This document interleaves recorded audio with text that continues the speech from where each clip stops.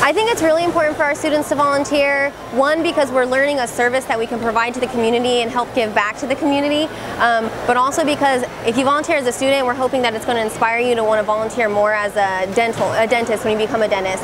So hopefully our students, um, once they become dentists, they'll return and be operators at CDA Cares. So, as dentists and dental students, we have a very specific um, career that and a service that we can provide.